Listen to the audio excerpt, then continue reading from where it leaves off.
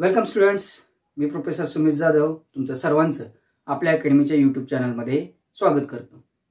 आपण बघत आहोत क्लास इलेव्हनचं फिजिक्सचं लेक्चर ज्याच्यामध्ये आज आपण पॉईंट शिकणार आहोत सिस्टीम्स ऑफ युनिट्स की ह्या सिस्टीम्स ऑफ युनिट काय आहेत आणि त्या कशा पद्धतीनं आपण वापरतो?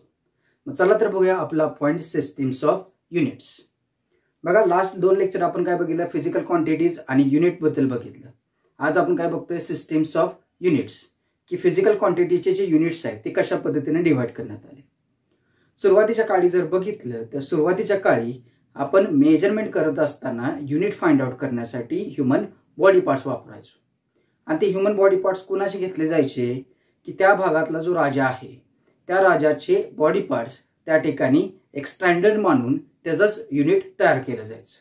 म्हणजे लेंथ ही फिजिकल क्वांटिटी जर आहे तर त्याचं युनिट त्या ठिकाणी काय केलं जायचं? कोपरापासून आपला जो हात आहे ते युनिट त्या ठिकाणी कन्सिडर केलं जायचं. त्यालाच नाव दिलं होतं काय आपण? क्युबिट हे नाव दिलं होतं. अशा पद्धतीनं काय व्हायचं की ह्युमन बॉडी पार्ट वापरून त्या ठिकाणी युनिट तयार केलं जायचं. फक्त ह्या युनिटमध्ये प्रॉब्लेम काय होता? की जसं राज्य चेंज होईल तसा तो पर्सन चेंज व्हायचा. आणि तो पर्सन चेंज झाला तर त्याच्या प्रत्येकाच्या हाताची लेंथ सेम असेल का? नसणार आहे. त्यामुळे त्या ठिकाणी लेन्थचं युनिट त्या राज्यामध्ये काय राहायचं? वेगळं राहायचं. अशा पद्धतीनं लेन्थचंच युनिट वेगवेगळ्या राज्यामध्ये वेगवेगळं होतं. मग आता हे प्रॉब्लेम टॅकल कसा करावा? की ह्याच्यामध्ये आपण ह्याचं सोल्युशन कसं काढावं? की आपल्याला प्रत्येक ठिकाणी लेन्स युनिट काय मिळते? वेगवेगळं मिळते मग त्यासाठी काय ठरवण्यात आलं? की तिथे एक स्टँडर्ड सिस्टीम पाहिजे. एक स्टँडर्डनेस पाहिजे की जेणेकरून आपण लेंथ कुठेही जरी मेजर केली तर आपल्याला त्या ठिकाणी ती ॲक्युरेटच यायला पाहिजे. किंवा त्याचं जे युनिट आहे ते प्रत्येक ठिकाणी चेंज व्हायला नाही पाहिजे. त्याच्यामध्ये काहीतरी एक स्टँडर्डनेस यायला पाहिजे. मग ह्याची जी सुरुवात आहे ह्याची सुरुवात कुठून झाली? तर फ्रान्समधून झाली. किती साली? तर सतराशे एकोणनव्वद साली. फ्रान्समध्ये त्यावेळी जवळपास आठशे युनिट असे होते की ज्या ठिकाणी आपल्याला ते वेगवेगळ्या राज्यामध्ये वापरले जायचे आणि त्यांचा मिनिंग प्रत्येक ठिकाणी काय असायचा? वेगवेगळा असायचा. मग त्यावरती त्यांनी काय केलं? एक सिस्टीम शोधून काढली. त्याची जी सुरुवात आहे ती किती साली झाली? तर सतराशे पंच्याण्णव साली त्या सिस्टीमची सुरुवात झाली आणि सतराशे नव्याण्णव साली ती सिस्टीम आपण काय केली? प्रॅक्टिकली यूज करायला चालू केली. आणि त्या सिस्टीमला म्हणलं जातं डेसिमल मेट्रिक सिस्टीम पहिली जी सिस्टीम आपण बघतो याच्यामध्ये ती म्हणजे कुठली आहे? डेसिमल मेट्रिक सिस्टीम ह्या डेसिमल मेट्रिक सिस्टीममध्ये काय करण्यात आलं? तर ही कधी सुरुवात आली? प्रॅक्टिकल यूजमध्ये कधी आली? सतराशे नव्याण्णव साली. ह्याचा जो यूज आहे किंवा ह्याचं जे पहिलं पर्पज होतं त्याच्यामध्ये काय होतं की आपण सेम फिजिकल क्वांटिटीचं युनिट प्रत्येक ठिकाणी काय बघतोय वेगवेगळं आहे. आणि आपल्याला त्याला सगळ्याला काय करायचं एक स्टँडर्ड युनिट करायचं आहे म्हणून या ठिकाणी काय केलं आलं? डेसिमल मेट्रिक सिस्टीम तयार करण्यात आली. मग ह्या सिस्टीममध्ये काय केलं की प्रत्येक फिजिकल क्वांटिटीचं एक युनिट डिफाईन करण्यात आलं. काय करण्यात आलं? प्रत्येक फिजिकल क्वांटिटीचं एक युनिट डिफाईन करण्यात आलं किंवा फिक्स करण्यात आलं. या सिस्टीमनं आपल्याला दोन मोस्ट इम्पॉर्टंट युनिट्स दिले. ते म्हणजे कुणाचे? तर लेंथ या फिजिकल क्वांटिटीचं आपल्याला जे युनिट दिलं ते म्हणजेच मीटर आणि मास या फिजिकल क्वांटिटीचं युनिट दिलं आपल्याला ग्रॅम त्या दोन्हीही युनिटची एक त्या ठिकाणी काय करण्यात आली? स्पेसिफिक डेफिनेशन तयार करण्यात आली. मग ती कशा पद्धतीने आली? मीटरची डेफिनेशन जर तुम्हाला सांगितलं तर लास्ट लेक्चरला आपण ती मीटरची डेफिनेशन बघितलेली आहे तरी पण एक थोडंसं काय करतो मी रिवाईज करतो की लेंथ वन मीटर हे कसं ठरवण्यात आलं? तर त्यांनी एक डिस्टन्स मेजर केलं. कुठून कुठपर्यंत डिस्टन्स मेजर केलं? तर अर्थचा नॉर्थ पोल आणि इक्वेटर ह्याच्यामधलं डिस्टन्स त्या ठिकाणी त्यांनी मेजर केलं. हे मेजर करू शकतो आपण. कारण त्या ठिकाणी आपल्याकडं एक युनिट काहीतरी होतं. मग हे डिस्टन्स जे मेजर केलं ह्या डिस्टन्सला त्यांनी काय केलं? इक्वल पार्ट्समध्ये डिवाइड केलं. किती इक्वल पार्ट्समध्ये डिवाइड केलं? तर टेन मिलियन इक्वल पार्टमध्ये त्यांनी त्या लेंथला काय केलं? डिवाइड केलं. कुठून कुठपर्यंतच्या? North to north pole to equator of the earth आणि ह्या टेन मिलियनपैकी एक पार्ट ह्या टेन मिलियनपैकी एक पार्ट ह्याला काय म्हणण्यात आलं? वन मीटर म्हणजेच काय? थोडक्यात one tenth millionth part of distance from north pole to the equator is called as one metre आता हे असं डिस्टन्स आहे ते पृथ्वीवरती कधीच कुठेही चेंज होणार नाहीये. त्यामुळं हे जे युनिट आहे हे युनिट काय कन्सिडर करण्यात आलं? एक स्टँडर्ड युनिट कन्सिडर करण्यात आलं. आणि त्याला काय म्हणण्यात आलं? मीटर असं म्हणण्यात आलं. आणि ते म्हणजेच काय तर one one ten million part of the distance from north pole to equator त्याला काय म्हणतो आपण? वन मीटर असं म्हणतो. तसंच मासचं जे युनिट आहे ते युनिट काय घेतलं आपण? ग्रॅम म्हणलं. तर वन ग्रॅम म्हणजे इथं किती म्हणणार आहे? तर वन ग्रॅम म्हणजे इथं डेफिनेशन करण्यात आली volume of sorry one gram is equal to काय म्हणण्यात आलं? One centimetre cube volume of pure water volume of pure water म्हणजे जर आपण वन सेंटीमीटर क्यूब एवढा व्हॉल्यूमचं प्युअर वॉटर घेतलं तर त्याचं जे मास आहे त्याचं मास किती होणार आहे? वन ग्रॅम एवढं होणार आहे. अशा पद्धतीनं ह्या डेसिमल मेट्रिक सिस्टीमनं आपल्याला काय केलं? एक फिक्स्ड व्हॅल्यू दिली. कशाची? एका स्टँडर्ड युनिटची लेनसाठी आपण युनिट कुठेही गेले तर काय वापरणार आहे? मीटर वापरणार आहे. आणि माससाठी जर त्या ठिकाणी युनिट आपल्याला वापरायचं असेल तर आपण ती काय वापरणार? ग्रॅम वापरणार. अशा पद्धतीनं डेसिमल मेट्रिक सिस्टीममध्ये आपल्याला हे दोन युनिट मिळाले. तसंच ह्याला जे डेसिमल नाव पडलेलं आहे डेसिमल नाव कशावरनं पडलेलं आहे? तर आपण इथे युनिट काय वापरतोय? लेन्सचं मीटर हे वापरतोय. लेन्स युनिट काय वापरतोय? मीटर पण हेच युनिट आपण प्रत्येक मेजरमेंटला जर वापरत असू मेजरमेंटसाठी म्हणतोय मी लेन्सच मेजरमेंट करायचं आहे पण प्रत्येक वेळेस जर लेन्थ मेजर करण्यासाठी आपण मीटर हे जर युनिट वापरत असू तर त्या युनिटचा एक ड्रॉबॅक आहे. त्या युनिटचा काय आहे एक ड्रॉबॅक आहे आणि तो ड्रॉबॅक कशा पद्धतीनं आहे? बघा एक्झाम्पल फॉर एक्झाम्पल एक डॉट आहे. आणि ह्या डॉटची साईज मला मेजर करायची आहे. आणि दुसरा एक डिस्टन्स कन्सिडर करतो. दोन प्लॅनेट्स आहेत. ए प्लॅनेट आणि बी प्लॅनेट ह्याच्यामधलं पण डिस्टन्स मला मेजर करायचं आहे. मग आता ह्या डिस्टन्सेसमध्ये काय फरक आहे बघा? हे डिस्टन्स खूप कमी आहे. हे डिस्टन्स काय आहे? खूप कमी आहे. आणि हे डिस्टन्स खूप जास्त आहे. पहिलं जे डिस्टन्स मी घेतलं size of this dot is very small and the distance between two planets is very large मग हे दोन्ही डिस्टन्स जर मला रिप्रेझेंट करायचे असतील तर मीटरमध्ये तर ते कशा पद्धतीने रिप्रेझेंट होणार बघा? Zero point zero zero zero zero something आणि हे डिस्टन्स कसं होणार आहे? One zero zero zero zero zero for example आपण काय कन्सिडर करतोय? फॉर एक्झाम्पल म्हणजेच हे मला मीटरमध्ये लिहायचं असेल दोन्ही डिस्टन्सेस तर ते कसे आले लार्ज अमाऊंटमध्ये आले. आणि ते मला वाचायला पण खूप अवघड जाणार आहे. आणि मला ते डिस्क्राईब करण्यासाठी पण काय होणार आहे? खूप अवघड होणार आहे. मग त्या ठिकाणी त्यांनी काय केलं की हे डिस्टन्सेस जे आहेत ते दाखवण्यासाठी किंवा कन्वर्ट करण्यासाठी त्यांनी काय केलं? टेनच्या पॉवर्स वापरल्या. काय वापरल्या? टेनच्या पॉवर्स आणि त्या प्रत्येक टेनच्या पॉवरला त्यांनी एक नाव दिलं. त्यालाच आपण म्हणतो युनिट प्रेफिक्स असं म्हणतो. प्रत्येक टेनच्या पॉवरला त्यांनी काय दिलं? एक नाव दिलं. त्यालाच आपण काय म्हणतो? युनिट प्रेफिक्स असं म्हणतो. आणि त्या पद्धतीनं सिस्टीम तयार करण्यात आली.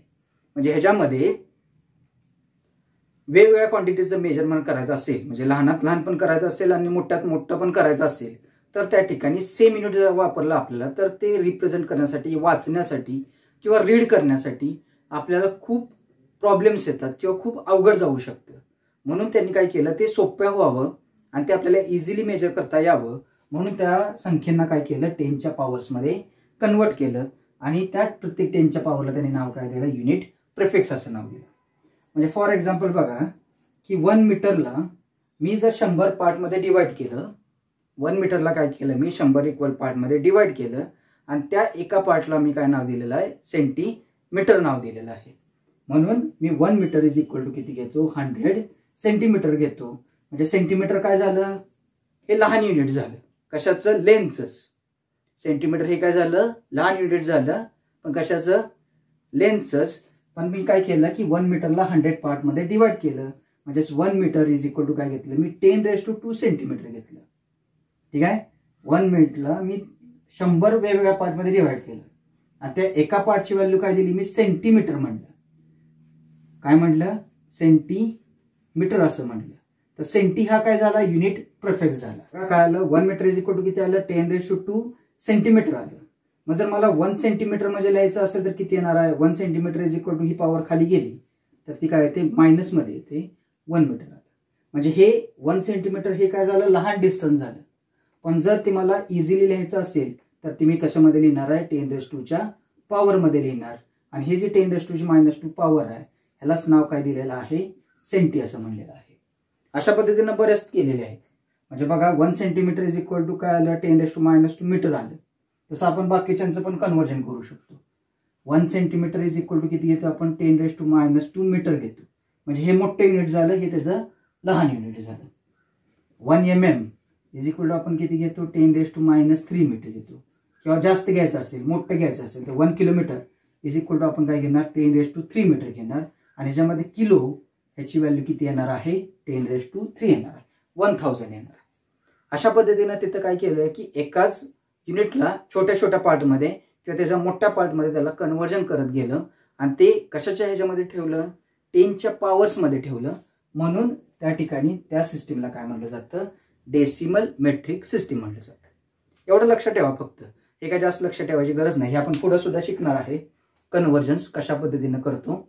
किंवा सेंटीमीटरचं मीटरमध्ये मीटरचं किलोमीटरमध्ये किंवा मीटरचं एम एममध्ये. हे कशा पद्धतीने करणार आहे हे आपण फक्त लक्षात ठेवा. की ह्याच्यामध्ये काय करायचं आहे ह्याच्यामध्ये फक्त काय सांगितलेलं आहे? की इथं टेनच्या पॉवर्स आपण वापरतो. कशासाठी? ह्याचं व्हॅल्यू इझिली रीड करण्यासाठी. म्हणून त्या सिस्टीमला काय म्हणण्यात आलं? डेसिमल मेट्रिक सिस्टीम म्हणण्यात आलं. दुसरं म्हणजे ह्याच्यामध्ये आपल्याला दोन युनिट्स मिळाले. लेंथ आणि मास युनिट मिळालं. ते पण फिक्स मिळालं. किती डिस्टन्स आपण सांगू शकतो की वन मीटर हे किती डिस्टन्स आहे? हे मी सांगू शकतो. आणि ते कशाबद्दल सांगू शकणार आहे? तर one ten million part of distance between north pole and equator north pole आणि इक्वेटर ह्याच्यामध्ये असणारा जो डिस्टन्स आहे त्या डिस्टन्सला टेन मिलियन पार्ट पैकी एक पार्ट हा म्हणजे काय असतो? वन मीटर असतो. आता ही झाली कुठली डेसिमल मेट्रिक सिस्टीम झाली. पण ह्याच्यामध्ये पण अजून एक गोष्ट आहे. की आपण फिजिकल क्वांटिटीजचं युनिट तर डिफाईन केलं. लेन्थ युनिट फिक्स झालं मास युनिट फिक्स झालं. पण तरी पण ह्या ठिकाणी प्रॉब्लेम काय होत होता? की अजून फिजिकल क्वांटिटीज काय काय अशा आहेत ज्या दुसऱ्या फिजिकल क्वांटिटीवरती डिपेंडंट असतात. त्यांच्या मेजरमेंटसाठी आणि ह्याचे डेफिनेशन्स आपण फिजिकल क्वांटिटीज ह्या पॉईंटमध्ये बघितलेलं आहे. की डेसिमल सिस्टीममध्ये आपण अजून काय बघितलेलं आहे? की शोधत असताना काय काय फिजिकल क्वांटिटीज या दुसऱ्या फिजिकल क्वांटिटीजवरती पण डिपेंडंट आहेत. मग ज्या शोधून काढलेल्या फिजिकल क्वांटिटीज आहेत त्यांची युनिट्स पण कुणावर डिपेंडंट असणार आहेत. ज्या फिजिकल क्वांटिटीजवरती डिपेंड असतील तर. म्हणजे फॉर एक्झाम्पल सांगायचं झालं वेलॉसिटी इज इक्वल टू काय असतं? डिस्टन्स अपॉन टाइम असतं. मग वेलॉसिटी ही कुणावर डिपेंडंट आहे? डिस्टन्स आणि टाइमवरती डिपेंडंट आहे. तर वेलॉसिटी ही फिजिकल क्वांटिटी डिस्टन्स या फिजिकल क्वांटिटीवरती आणि टाइम या फिजिकल क्वांटिटीवरती डिपेंडंट आहे. त्यामुळं वेलॉसिटीचं जर युनिट काढायचं असेल तर ते कुणी कोणावरती डिपेंड असणार आहे? ह्या दोघांच्यावरती डिपेंडंट असणार आहे. म्हणजे त्या ठिकाणी असं काय काय क्वांटिटीज आहेत की ज्या एकमेकांशी रिलेटेड आहेत. जे एकमेकांशी काय आहेत? रिलेटेड आहेत. आणि आपण त्याला दोन पार्टमध्ये डिवाइड करतो. ते दोन पार्ट कुठले आहेत? हे आपण लास्ट लेक्चरला बघितलेलंच आहे. फिजिकल क्वांटिटीचं जे लेक्चर आपण घेतलं होतं त्या लेक्चरमध्ये आपण बघितलं. आपण काय करतोय? फिजिकल क्वांटिटीज ज्या आहेत त्या फिजिकल क्वांटिटीजना आपण दोन पार्टमध्ये डिवाइड करतो. फिजिकल क्वांटिटीज त्याचे दोन टाईप्स आहेत. कुठले दोन टाईप्स आहेत? तर फिजिकल क्वांटिटीजचा पहिला जो टाईप आपण बघितला होता तो म्हणजे होता फंडामेंटल क्वांटिटीज कुठला टाईप होता? फंडामेंटल क्वांटिटीज आणि फंडामेंटल क्वांटिटीज कुणाला म्हणतो आपण? अशा क्वांटिटीज ज्या दुसऱ्या कुठल्या क्वांटिटीवरती डिपेंड नाही आहेत अशा क्वांटिटीजना आपण काय म्हणतो? फंडामेंटल क्वांटिटीज म्हणतो. मग ह्या फंडामेंटल क्वांटिटीचे जे युनिट्स असतात त्यांना काय म्हटलं जातं? फंडामेंटल युनिट्स असं म्हटलं जातं. त्याला काय म्हटलं जातं? फंडामेंटल युनिट्स ठीक आहे?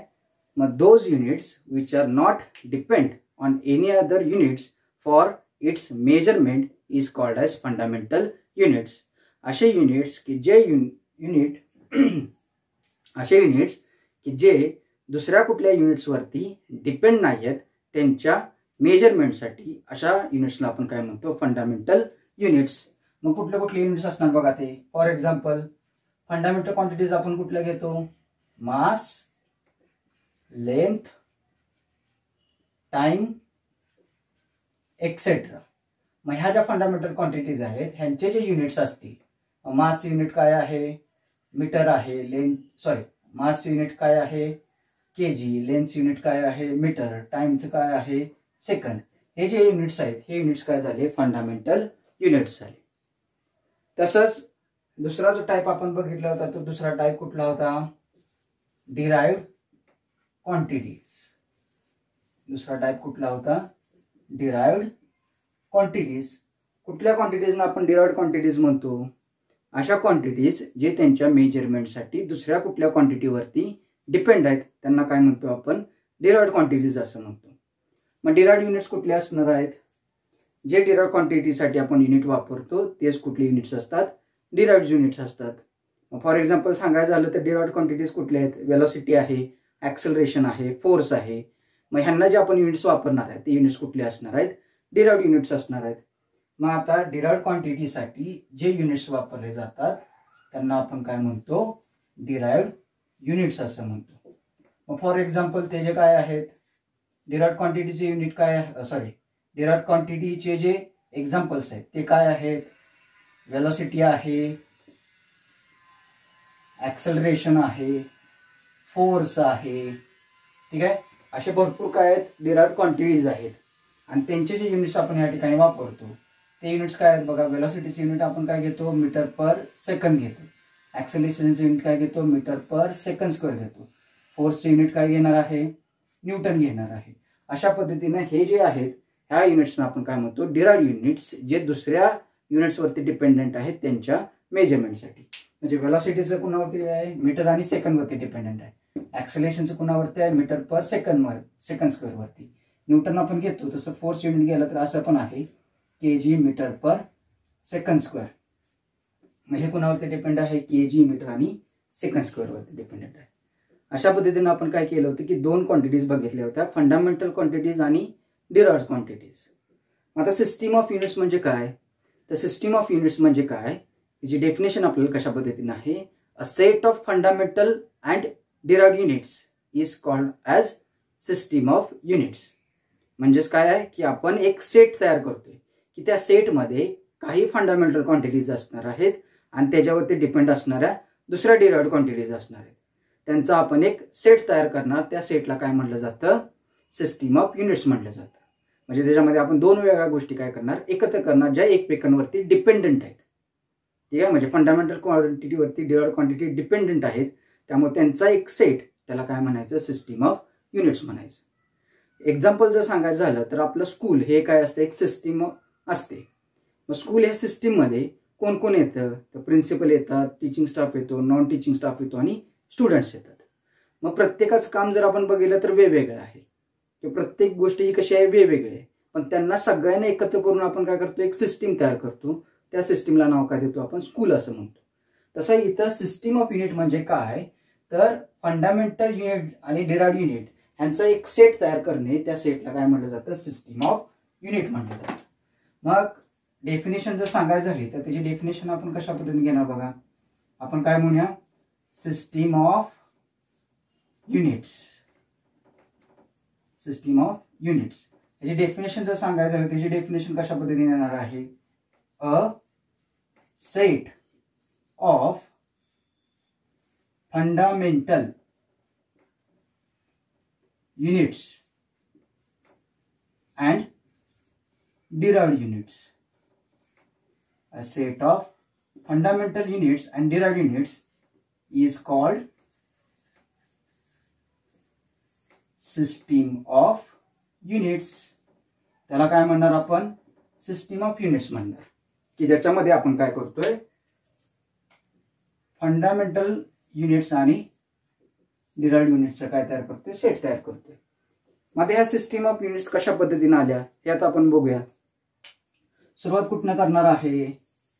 तर मगाशी आपण बघितलं की डेसिमल मेट्रिक सिस्टीममध्ये काय होतंय की त्या ठिकाणी आपण भरपूर फिजिकल क्वांटिटी त्यांचे कन्व्हर्जन आणि त्यांचे युनिट्स फाइंड आउट केले होते. मध्ये ह्या युनिट्सला आपण दोन पार्टमध्ये डिवाइड केलं fundamental units and derived units मग in eighteen thirty two a scientist named Gauss हा जो सायंटिस्ट आहे गॉस हा सायंटिस्ट काय करत होता? अर्थच्या मॅग्नेटिक फोर्सवरती काय करत होता? सर्च करत होता. मग हा सर्च करत असताना त्यानं जे मेजरमेंट्स घेतले आणि ते मेजरमेंट घेण्यासाठी त्याने एक स्वतःची सिस्टीम त्या ठिकाणी प्रपोज केली. आणि ती जी सिस्टीम होती त्या सिस्टीममध्ये त्यानं तीन फंडामेंटल क्वांटिटीज कन्सिडर केल्या. किती क्वांटिटीज कन्सिडर केल्या तीन फंडामेंटल कुठल्या कुठल्या? मास लेंथ आणि टाइम या तीन त्यानं फंडामेंटल क्वांटिटी कन्सिडर केल्या आणि त्याच्या मतानुसार बाकीच्या ज्या फिजिकल क्वांटिटीज आहेत त्या सगळ्या फिजिकल क्वांटिटी कुणावरती डिपेंडंट आहेत? या तीन फंडामेंटल क्वांटिटीवरती डिपेंडंट आहेत असं त्यानं कन्सिडर केलं. मग आता त्यानं जे युनिट कन्सिडर केले ह्या तिघांसाठी ते काय होते? मासाठी त्याने युनिट घेतलं होतं मिलीग्रॅम लेन्थसाठी त्याने युनिट वापरलं होतं मिली मीटर आणि टाइमसाठी त्याने युनिट वापरलं होतं सेकंद. अशा पद्धतीनं त्यानं काय केलं?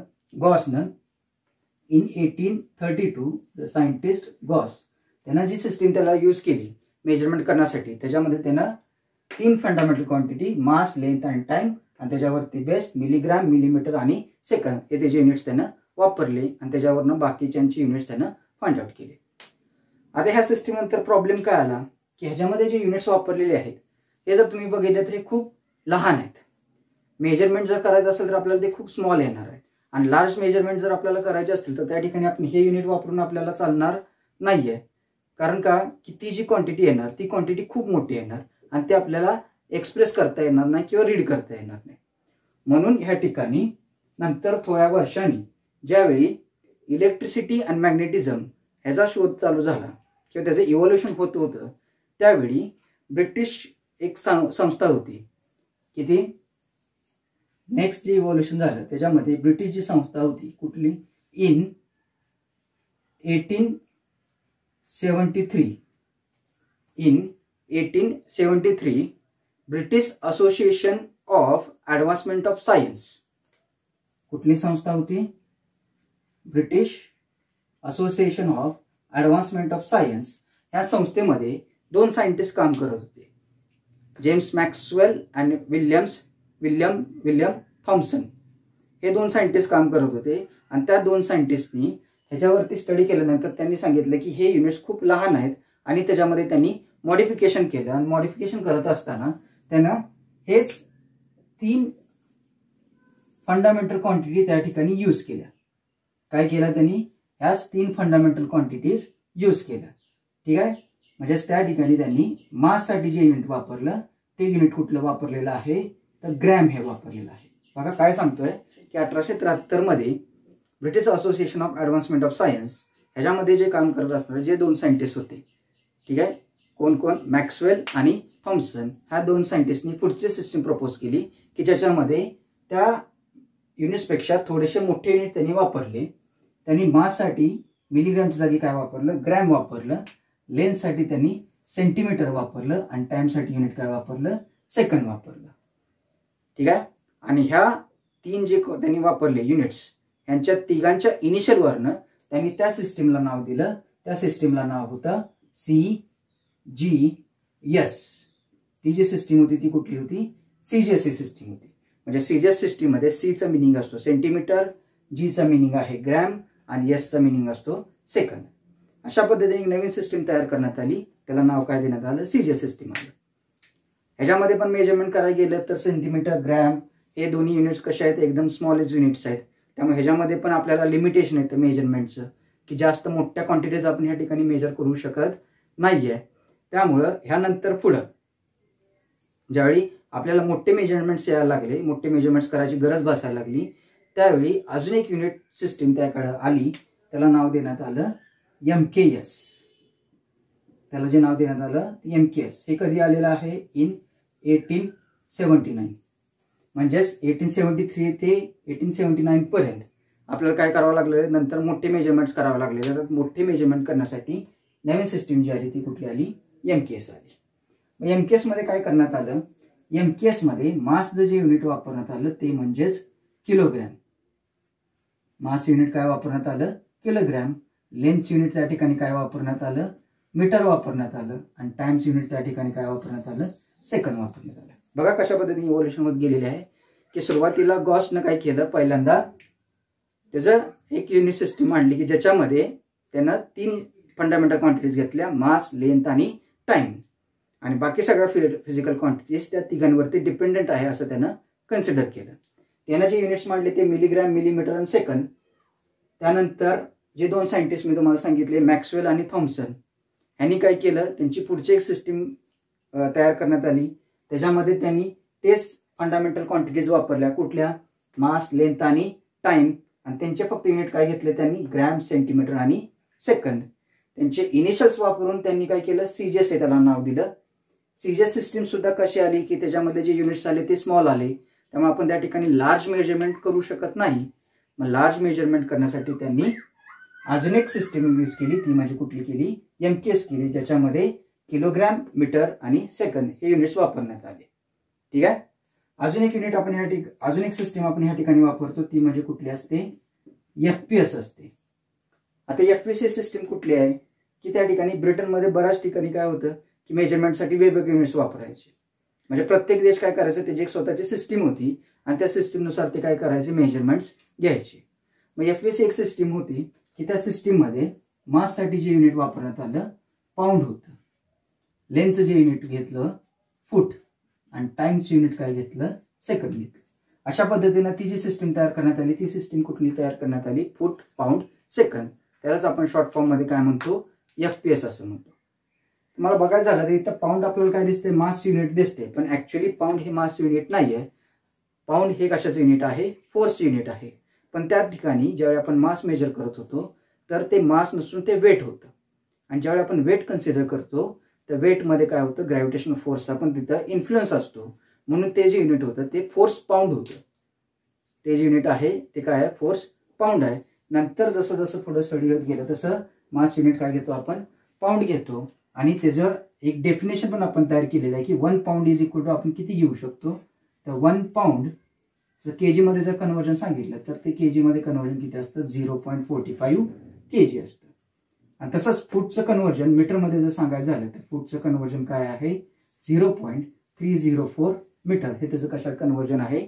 मीटरमध्ये कन्वर्जन आहे. अशा पद्धतीने काय केलं की सिस्टीम्स ऑफ युनिट्स तयार करण्यात आला.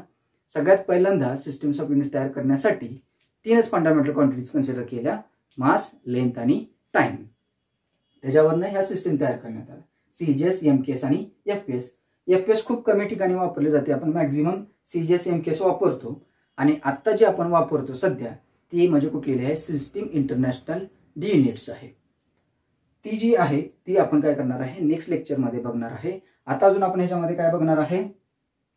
तर ह्या ज्या तीन सिस्टीम्स आहेत ह्या तीन सिस्टीममध्ये जर मला एखाद्या फिजिकल क्वांटिटीचं युनिट काढायचं असेल तर ते मी कशा पद्धतीने काढू शकतो? बघा एफ पी एस ही काय आहे? फूट पाऊंड सेकंद आहे. पाऊंड हे मास युनिट आपण कन्सिडर करतो पण मास नसून ते कशाचं असतं? फोर्स युनिट असतं. ठीक आहे?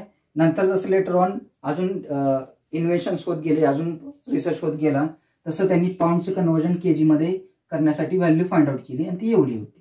Zero point forty five K G आणि फूटसाठी ती zero point three zero four metre आहे. आता आपण काय बघूया की जर मला एखाद्या फिजिकल क्वांटिटीचं युनिट या सिस्टीममध्ये लिहायचं असेल ते कशा पद्धतीने लिहू शकतो? मग समजा मी तर कुठली क्वांटिटी घेतो वेलॉसिटी ही फिजिकल क्वांटिटी घेतो. आणि ह्याचं कन्व्हर्जन मला कशात करायचं आहे? या तीन सिस्टीममध्ये करायचं आहे. तर ते कशा पद्धतीने करू शकणार? किंवा त्याचं युनिट कन्व्हर्जन म्हणण्यापेक्षा सॉरी कन्व्हर्जन नाही म्हणणार मी. कन्व्हर्जन म्हणण्यापेक्षा मी त्याचं युनिट त्या ठिकाणी कशा पद्धतीने लिहू शकतो हे आपण बघूया. मग वेलॉसिटीचं युनिट काढायचं असेल तर ती पहिल्यांदा आपल्याला कुठल्या क्वांटिटीवरती डिपेंड आहे हे माहीत पाहिजे.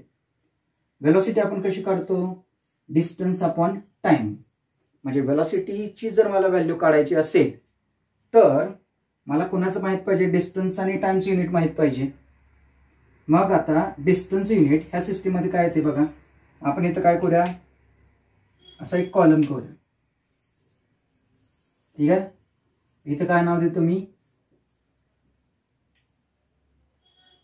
क्वांटिटी म्हणतो. Quantity CGS system M K S आणि एफ पी एस मग आता बघा काय काय येईल. वेलॉसिटीचा फॉर्म्युला काय आहे? डिस्टन्स अपॉन टाइम आहे. मग वेलॉसिटीचं जर युनिट मला काढायचं असेल तर कोणाचं माहीत पाहिजे? डिस्टन्स आणि टाइमचं युनिट माहीत पाहिजे. डिस्टन्स युनिट सीजसमध्ये काय आहे? सेंटीमीटर आहे. टाइमचं युनिट काय आहे? सेकंद आहे. त्यामुळे सीजसमध्ये काय आलं त्याचं युनिट सेंटीमीटर अपॉन सेकंद आलं. सीजसमध्ये त्याचं युनिट काय आलं सेंटीमीटर पर सेकंद आलं. एममध्ये काय येईल बघा? एममध्ये डिस्टन्स युनिट काय आहे? लेंथ युनिट काय आहे? मीटर आहे. टाइमचं युनिट काय आहे? सेकंद आहे. मग एममध्ये त्याचं युनिट काय येईल? मीटर पर सेकंद येणार. तसं जर मला एफ पी एसमध्ये घ्यायचं असेल तर एफ पी एसमध्ये काय येईल बघा? एफ पी एसमध्ये काय घेणार? एफमध्ये लेंथ युनिट काय आहे? फूट टाइमची युनिट काय? आहे सेकंद डिस्टन्स अपॉन टाइम आहे. मग काय येणार आहे? फूट अपॉन सेकंद येणार. अशा पद्धतीने आपण काय करू शकतो? वेगवेगळ्या फिजिकल क्वांटिटीचे युनिट्स फाइंड आउट करू शकतो. एक्झाम्पलसाठी अजून एक घेतो मी. दुसरी कुठली क्वांटिटी घेतो? ऍक्सलरेशन ऍक्सेलेशनचं कसं फाइंड आउट करणार बघा? ऍक्सेलेशनचा फॉर्म्युला काय असतो? वेलॉसिटी अपॉन टाइम असतो. ऍक्सेलेशन इज इक्वल टू आपण काय घेतो? वेलॉसिटी अपॉन टाइम घेतो. पण आता इथं व्हेलॉसिटीचं युनिट मी इकडे काढलेलंच आहे. ते डायरेक्टली पण मी वापरू शकतो किंवा आपण पहिल्यांदा काय करूया की ती कुठल्या फिजिकल क्वांटिटीवरती डिपेंडंट आहे कुठल्या फंडामेंटल क्वांटिटीवरती डिपेंडंट आहे हे काढूया. वेलॉसिटीचा फॉर्म्युला काय आहे? डिस्टन्स अपॉन टाइम बघा ऍक्सिलेशनचं युनिट काढण्यासाठी डायरेक्टली मी व्हीचं पण वापरू शकतो. ठीक आहे? जर व्हीचं वापरलं तर काय येईल बघा? इथं काय येणार? क्वांटिटी ऍक्सेलरेशन येणार. क्वांटिटी काय येणार? ऍक्सेलरेशन वेलॉसिटीचं युनिट काय आहे? सीजेस मध्ये सेंटीमीटर पर सेकंद आहे. सेंटीमीटर पर सेकंद आहे. डिवायडेड बाय टाइमचं युनिट काय आहे तिथं? सेकंद आलं. त्यामुळे ॲक्सिलेशनचं युनिट काय झालं? सेंटीमीटर पर सेकंद स्क्वेअर झालं. बघा काय केलं? मला ऍक्सिलेशनचं युनिट काढायचं आहे. तर ऍक्सिलेशन कुणावरती डिपेंडंट आहे? वेलॉसिटी आणि टाइमवरती मग ऍक्सिलेशनचं युनिट सीजे सिस्टीममध्ये काय येईल? तर वेलॉसिटीचं काय आहे? Centimetre per second divided by time काय आहे? सेकंद आहे. मग centimetre per second divide by second म्हणजे काय येणार आहे? सेंटीमीटर पर सेकंद स्क्वेअर येणार. मग अशा पद्धतीनं एम केस मध्ये काय येईल बघा? मीटर पर सेकंद आपण सेकंद म्हणजेच काय येणार आहे? मीटर पर सेकंद स्क्वेअर येणार. बरोबर आहे का बघा? मीटर पर सेकंद आपण सेकंद म्हणजे काय झालं? मीटर पर सेकंद स्क्वेअर झालं. आणि इथं पण काय येणार आहे मग? Foot per second square hundred अशा पद्धतीने काय करू शकतो? आपण वेगवेगळ्या फंडामेंटल क्वांटिटीचे युनिट्स या ठिकाणी फाइंड आउट करू सॉरी वेगवेगळ्या फिजिकल क्वांटिटीचं आपण युनिट ह्या ठिकाणी फाइंड आउट करू शकतो. आणि त्यासाठी फक्त काय माहीत पाहिजे आपल्याला? या सिस्टीम्स माहीत पाहिजेत. आणि त्याच्यामध्ये कुठल्या फंडामेंटल क्वांटिटीज आहेत? ठीक आहे? मास लेंथ आणि टाइम ह्या फंडामेंटल क्वांटिटीज आहेत. आणि ह्या ज्या क्वांटिटीज आहेत त्या ह्यांच्यावरती डिपेंडंट असायला पाहिजेत. तर आपण ह्या सिस्टीममध्ये काय करू शकतो? त्यांचे युनिट्स फाइंड आउट करू शकतो. म्हणजेच आपण अशा फिजिकल क्वांटिटीचे युनिट ह्या सिस्टीममध्ये फाइंड आउट करू शकतो ज्या फिजिकल क्वांटिटीज मास लेंथ आणि टाइमवरती डिपेंडंट आहेत. अशा फिजिकल क्वांटिटीज कुठल्या आहेत? की ज्या फक्त मास लेंथ आणि टाइमवरती डिपेंडंट आहेत अशाच फिजिकल क्वांटिटीज आपण काय करू शकतो? या ठिकाणी मेजरमेंट घेऊ शकतो किंवा त्यांचे युनिट्स या सिस्टीममध्ये आपण फाइंड आउट करू शकतो. मग आता हे झालं काय? सिस्टीम्स ऑफ युनिट्स झाल्या. ज्याच्यामध्ये आपण काय बघितलं? सीजीएस एमकेएस आणि एफपीएस मग काय काय फिजिकल क्वांटिटीज अशा आहेत की ज्या ह्यांच्यावरती डिपेंडंट नाही आहेत? मग त्यांचं युनिट आपण ह्या सिस्टीममध्ये फाइंड आउट करू शकत नाहीये. मग त्यासाठी काय केली? नवीन सिस्टीम तयार करण्यात आली. त्याला म्हटलं जातं सिस्टीम इंटरनॅशनल डी युनिट्स ठीक आहे? या ज्या तीन सिस्टीम्स आपण बघितल्या या सिस्टीममध्ये तुम्हाला कॉमनली लक्षात येईल की इथं सेकंदच आहे इकडे युनिट चेंज होतात. बरोबर नाही? मासचं चेंज होतंय ग्रॅम किलोग्रॅम पाऊंडमध्ये. लेंथचं चेंज होतंय सेंटीमीटर मीटर फूटमध्ये. पण इकडे सेकंद चेंज होत नाही. का बरं? ह्याच्यामध्ये काय रिझन असेल की ह्याच्यामध्ये सेकंड युनिट हे का चेंज होत नाही? तिन्ही सिस्टीममध्ये ह्याच्यामध्ये रिझन काय आहे? की ह्या ठिकाणी मेजरमेंट करण्यासाठी वेगवेगळ्या गोष्टीचा यूज केलेला आहे. वेगवेगळे रेफरन्स त्या ठिकाणी यूज केलेले आहेत. म्हणजे ग्रॅम मोजण्यासाठी वेगळा रेफरन्स आहे किलोग्रॅम मोजण्यासाठी वेगळा आहे पाऊंड मोजण्यासाठी वेगळा रेफरन्स आहे. पण ज्यावेळी आपण टाइमचे मेजरमेंट घेतो म्हणजे मला सांगायचं काय आहे की मास आणि लेंथचं ज्यावेळी आपण मेजरमेंट घेणार आहे त्यावेळी मी त्याच्यासाठी वेगवेगळे रेफरन्सेस यूज करणार आहे. पण ज्यावेळी मी टाइमचे मेजरमेंट करतोय तर टाइमचे मेजरमेंट करण्यासाठी जो रेफरन्स यूज केला होता तो या तिन्ही सिस्टीममध्ये कायम काय राहतोय? सेम राहतोय. या ठिकाणी रेफरन्स काय यूज केला होता? तर टाइमचे मेजरमेंट करण्यासाठी रेफरन्स म्हणून अर्थचं रोटेशन कन्सिडर करण्यात आलं होतं. अर्थचं स्वतःभोवतीचं रोटेशन ठीक आहे? हे त्या ठिकाणी काय केलं होतं? टाइमचं मेजरमेंट करण्यासाठी रेफरन्स म्हणून यूज केलं होतं. मग अर्थच्या रोटेशनला काय केलं त्यांनी? एक डे कन्सिडर केला. एक डेला काय कन्सिडर करण्यात आलं? ट्वेंटी फोर हवर्स कन्सिडर करण्यात आलं. एक आवर कशापासून बनतोय? सिक्स्टी मिनिट्सपासून बनण्यात आला. आणि एक मिनिट कशापासून बनण्यात आला? सिक्स्टी सेकंडमध्ये आला. आणि हे ॲझम्शन जे आहे की हा जो रेफरन्स आहे हा तिन्ही सिस्टीम तयार होताना कायम सेम राहिलेला आहे. म्हणजे सीजर सिस्टीम तयार होत असताना टाइमचं मेजरमेंट त्याच गोष्टीवरती घेतलेलं आहे. म्हणजे कशावरती? अर्थच्या रोटेशनवरती एम के सिस्टीममध्ये पण अर्थच्या रोटेशनवरतीच टाइमचं मेजरमेंट घेतलेलं आहे. एफ पी एस सिस्टीममध्ये टाइमचं मेजरमेंट घेताना अर्थचं रोटेशनच कन्सिडर करण्यात आलेलं आहे. म्हणून प्रत्येक ठिकाणी टाइमचं युनिट काय राहते? सेकंद राहते.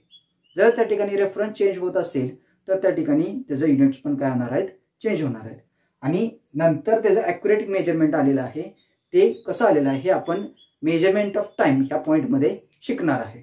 आतापुरते फक्त एक लक्षात ठेवा की ह्या टाइमच्या युनिटसाठी एकच रेफरन्स कन्सिडर करण्यात आला की त्याच्यामागे एकच फिनॉमिनॉन कन्सिडर करण्यात आला रोटेशन ऑफ अर्थ त्यामुळे टाइम्स युनिट काय राहिलं? त्या ठिकाणी सेकंद राहिलं. अशा पद्धतीनं आपण काय बघितल्या या तीन बेसिक सिस्टम्स ऑफ युनिट्स बघितलेल्या. अजून आपल्याला एक सिस्टीम बघायची आहे ती म्हणजे सिस्टीम इंटरनॅशनल डी युनिट्स जे आपण नेक्स्ट लेक्चरमध्ये बघणार आहोत. थँक्यू